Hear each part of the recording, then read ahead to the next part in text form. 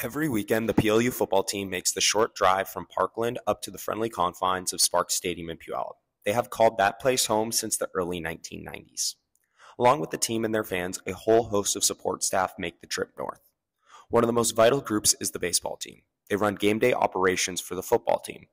From chain to field setup, ticketing, and parking, the baseball team makes sure that everything goes smoothly so that the football team can focus on playing.